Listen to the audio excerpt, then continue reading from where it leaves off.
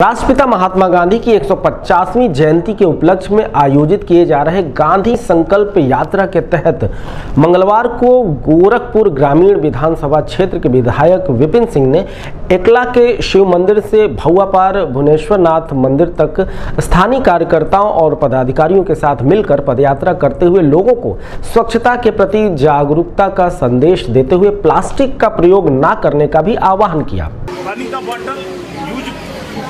प्रतिबंधित है जी। प्लास्टिक की थैली। आप बताइए वो नुकसानदायक है? नुकसानदायक है जी।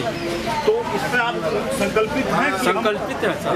और हम भी पूरे मन और व्रत के साथ प्लास्टिक के संपूर्ण आपके साथ सेवा करना चाहता हूँ। सरकार अच्छा कार्य कर जी रही है। सर तो निश्चित है जल बचाने का कार्य करें परिवार बच्चे चाहे जो भी है एक बाल्टी भी पानी बचाते हैं दिन भर में तो भी हाँ पहले समझ गई ना?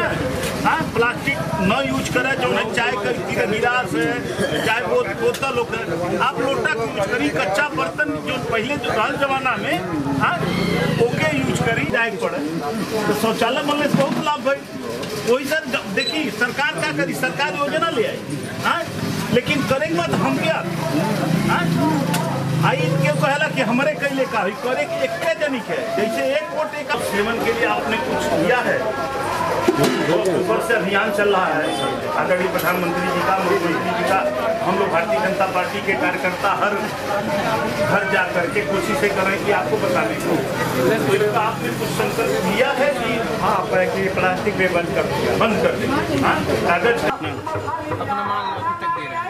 नहीं तो इनको कहिए कि भाई हम आप माल लेना बंद कर देंगे कि यह प्रतिबंधित है। यह पूरे समाज के लिए सबके लिए बहुत घातक है।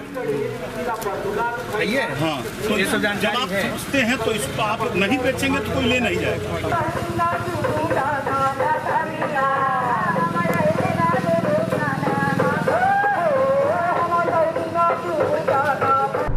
इस बारे में हमारे सिटी वन संवाददाता से बात करते हुए ग्रामीण विधायक विपिन सिंह ने कहा। लोगों ने जनता को एक बुकलेट भी दिया है कि उसमें जो भी सरकार की योजनाएँ हैं, और मेन फोकस हम लोगों का था स्वच्छता के लिए। उसमें प्लास्टिक जो उसकी टोटल रोक के लिए कि प्लास्टिक का उपयोग न करें, जो जो हम सब लोगों के लिए गंभीर बीमारी उससे हो रही है। उसको सचेत हम लोग किए हैं, और स्वच्छ जल जल है तो जीवन है। तो इसके इसके लिए कि जल का उपयोग कम से कम करें, जो आने वाले कुछ दिनों जो संकट है जल का, उसको कुछ दिन और टाला जा सके। यही हम लोग का मेन फोकस था।